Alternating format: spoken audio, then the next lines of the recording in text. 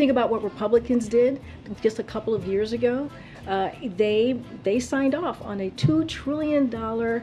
Uh, tri- tri- It's easy for you to say.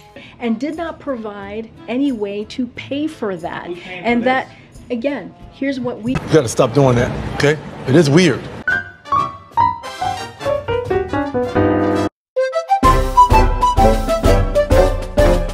Congress has done is actually there, and you see that the 1.7 trillion uh, deficit in deficit uh, deduction that you see is What in the hell are you talking about? being able to do something for the middle class, to do something just- for the middle class. But This is about doing something for people who make less than 125,000. Wait, what?